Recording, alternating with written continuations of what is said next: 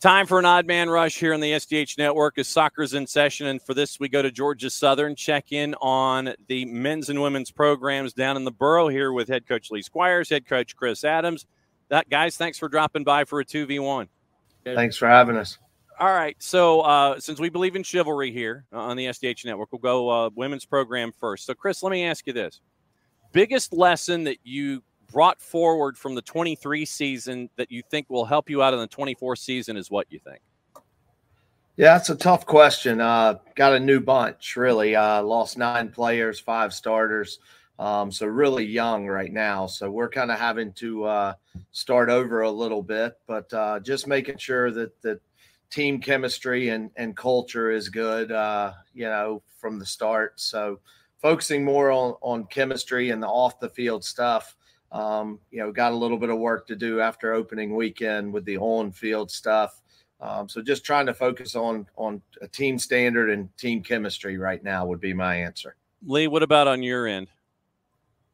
I think for, for us, um, it, it's year two um, of, of, this sort of project we have, and uh, just taking a lot of the lessons from year one. You know, we as a coaching staff and as a group of players, a lot of us were new to to, to not only the Sunbelt Conference and, and the competitive nature of it, but um, but Division One as a whole. You know, my first experience as a Division One head coach, and you know, I think we've got a lot more knowledge going into year two, a little bit more consistency with returning guys, um, and a second layer of recruitment. So the team is starting to to form its identity now, and, and hopefully we see more of that progress in the next few months. Know, so Chris, on the the women's side, you got to go to Honolulu. Uh, that's never a bad thing. And uh, catching up with Hawaii and Pepperdine. And I know that things are new and everything, but what was it like to be able to take a program out to a, a an, an exciting environment, you know, something that probably hasn't been done in quite some time. What was it like to have that kind of an experience to start a season off? Yeah, I mean, it was a great start, you know, uh, playing in paradise um, against two very good teams. I mean, first you're playing against the home side in Hawaii um, with a, you know, not going to say a hostile environment, but a good home crowd. Um, so, so that was, you know, a, a neat experience. Um, and then playing a very good Pepperdine team. Um, luckily, we went early enough to be able to witness, you know, some of the touristy stuff. So we were able to take in a luau um, you know, able to eat at Duke's and and and do some of the uh, iconic spots. You know, we had Rainbow Drive In um, the first day, so yeah, I think for a lot of our players, um, it's a once in a lifetime type trip, and not only for our players but our staff. Um, and I, I, think just being together on the road for a week will go a long way. Um, and, and just sort of getting to know know each other and, and know what makes people tick.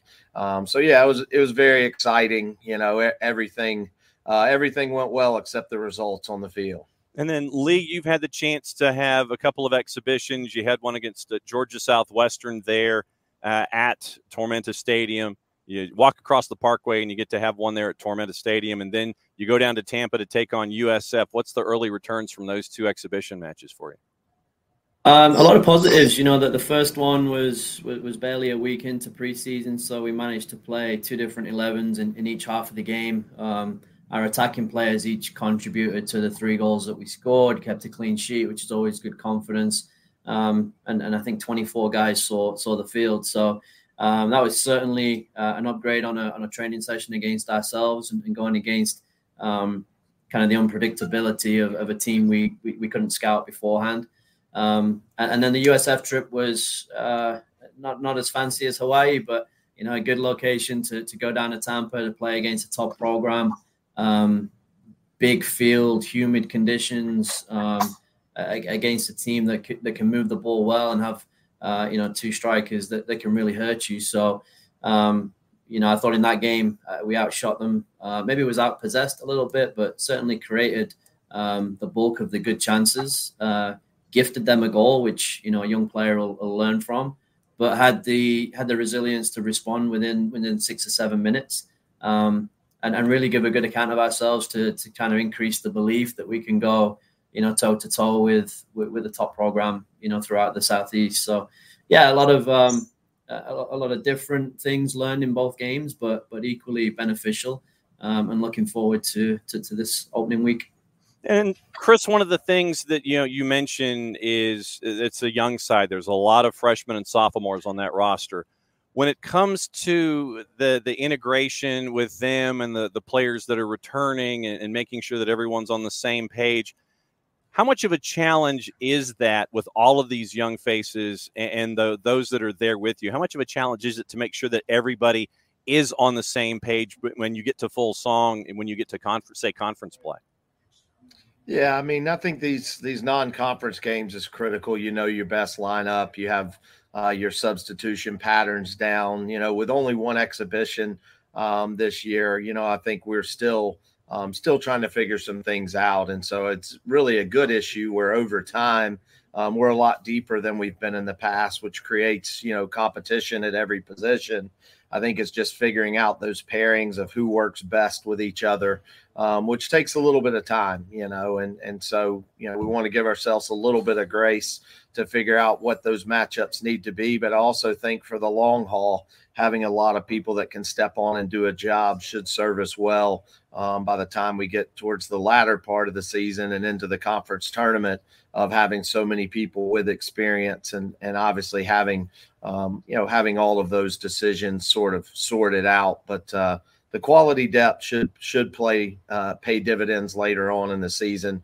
It's just figuring out right now with so many new players um, those pairings is the biggest challenge and you know lee we talk about youth and, and, you look at a roster for Georgia Southern coming into the season, there's a lot of FRs and there's a lot of SOs that are there uh, that are a part of your your makeup, and there's also a heavy international contingent. That that's I th- I would think adds another element to making sure everyone can blend and that everyone's on the same page with relationships both on and off the field. How much of a challenge is that?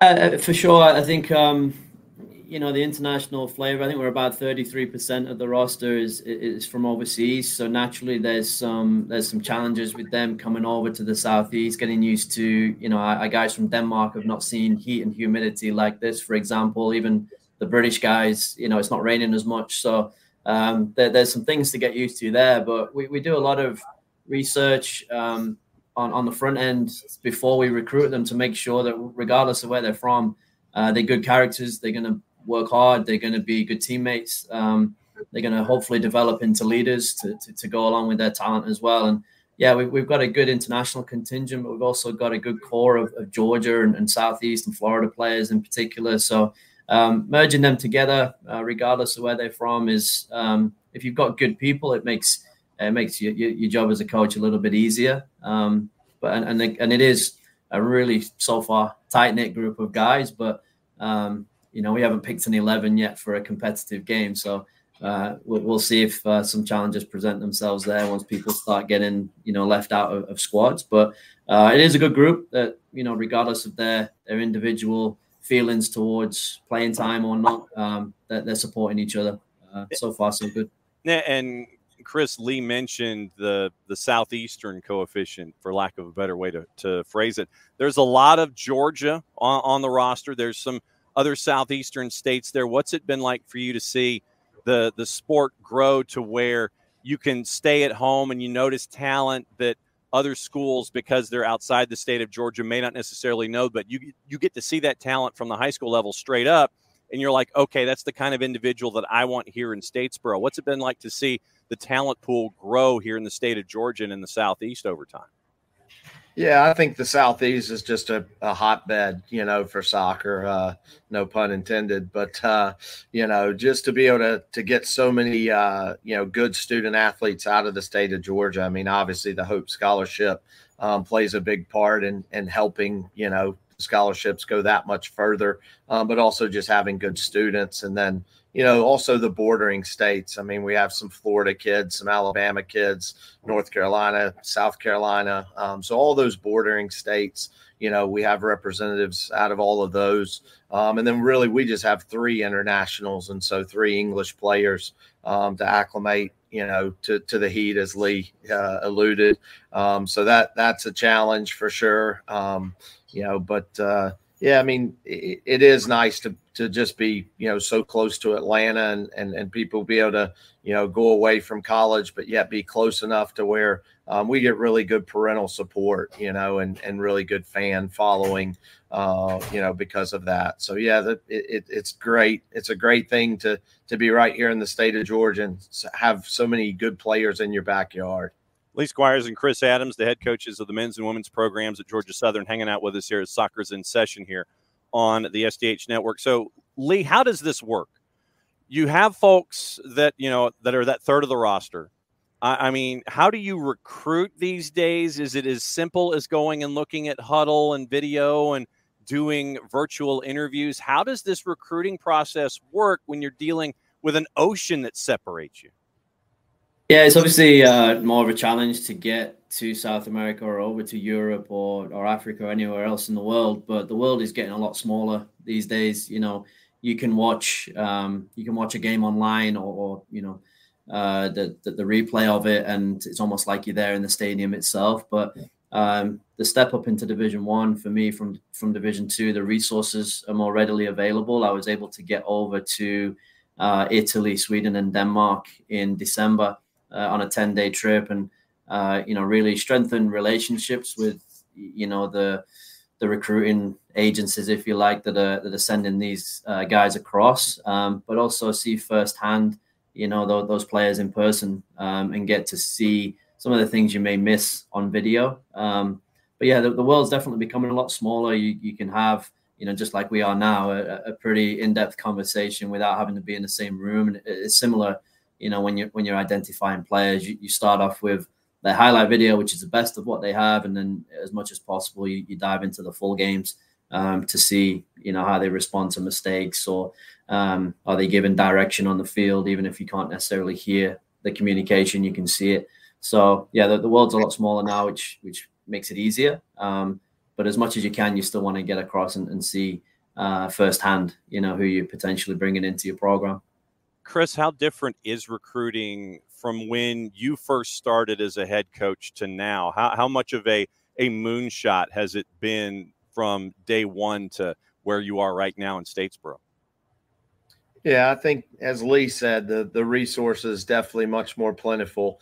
Um, you know, which helps. Um, you know, the the character piece is so important um, that that I agree with Lee. You got to get out there and, and meet these people firsthand and figure out what type of character um, they have as well. But yeah, when I first started out, you know, the game uh, really, you know, it's grown exponentially now, and there's just so many more players, um, you know, to sift through and figure out which ones are just that right fit. So I think it's more a lot more volume, and then two, you know, the more successful that we've been. Uh, you know, in some ways it gets easier because more people want to play for you, but then your needs are so much more finite that finding that exact person that fits um, the needs of your team or group becomes a bigger challenge as well. So, you know, definitely as I've climbed the ladder, starting at NAI, then D2, now D1, um, you know, much more competitive as well. Just because you've identified them at this level doesn't mean you're going to be able to land them. And so,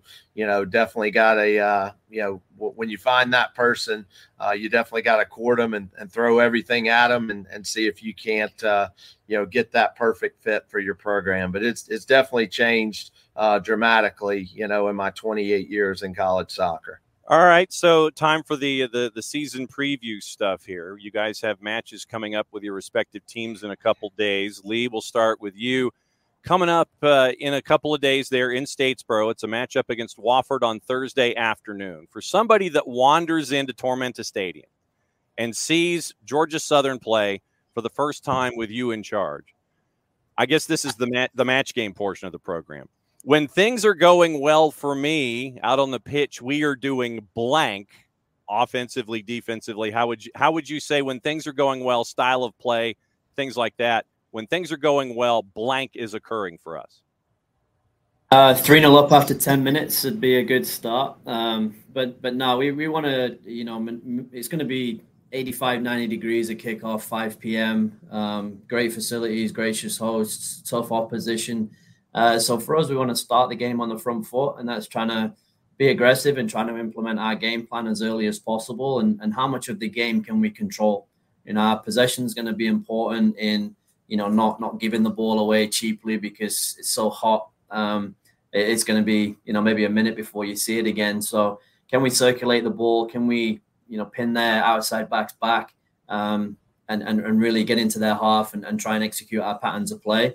Um, and then have a resilience and an organization defensively, be nice and compact and be difficult to to break down. Um, and then understand at this level that the games, uh, you know, are not often separated by more than a goal.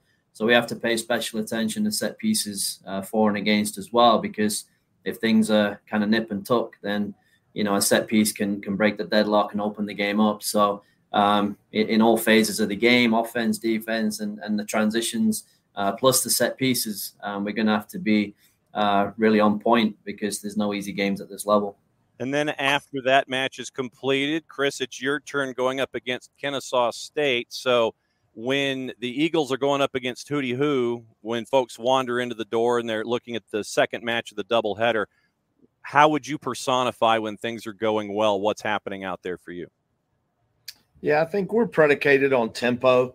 Um, I, we like to play fast, um, you know, get to goal um, as quickly as possible, not necessarily direct, but just in the fewest number of passes possible. Um, you know, we're we're athletic, so we like to press. Um, and you know, so maybe pressing, winning the ball a bit higher up the field uh, to create more scoring chances. Um, and then you got to be organized defensively. I mean, we've prided ourselves a, a lot um, with a new back four on on communication. So I think communication and organization play a critical part as well. Uh, and then, as a testament in our first game of Hawaii, you know, both goals came off set pieces. Um, you know, that's such an important part of the game um, just making sure we pride ourselves on set pieces and make them count for us. Um, and hopefully don't give up too many, you know, rather give up throw ins than than corners and and not create fouls in our own, you know, defensive third to give them opportunities um, on set pieces. So just kind of discipline, organize and discipline defensively. Um, you know, uh, not so cautious on the attack, you know, taking risk, running at players, trying to get to goal as, as frequently as possible um, and then then pressing and winning it high up the field uh, would be a good day for us. Okay, so then Lee, when folks wander in and they're watching, if this if they were if they had if they had their streaming device in front of them and they were watching on television as I hold up my phone,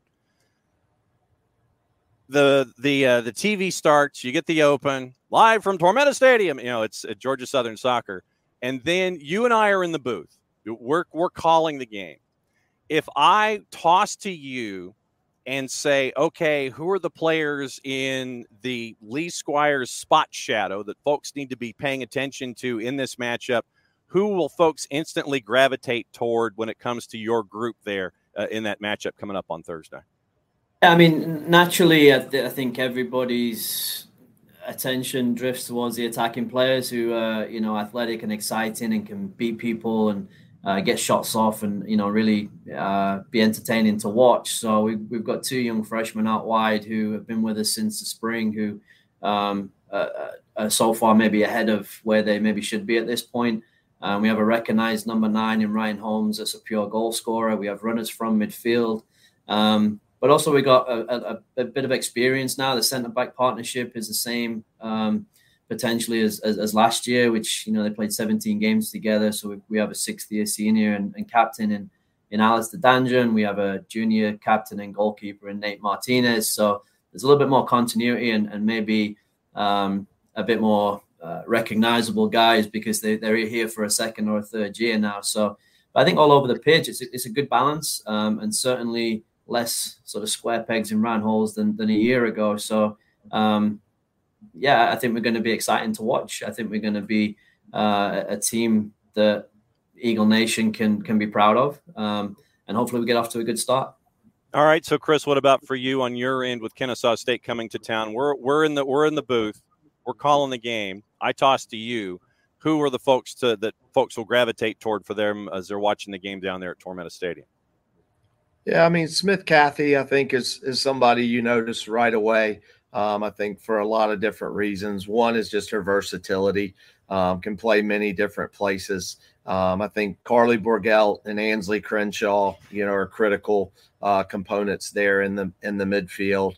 Um, and then right now, the back four um, is is probably um, you know not quite solidified, but you know Kendall Wilson has done a really good job back there for us organizing. And then you know we've having played two games, we've played each keeper once.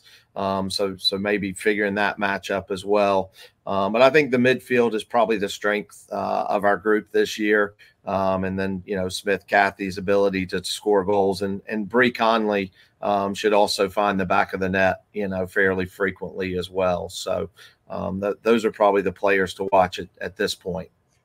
Gentlemen, it's great to catch up with you as soccer's in session there in Statesboro with Georgia's Southern men's head coach Lee Squires, women's head, head coach Chris Adams. Good luck coming up here in the midweek. We'll be keeping an eye on you this season. Thanks for dropping by for a 2v1. Great to see you and uh, have a great season. We'll catch up with you soon, my friends. Thanks so much.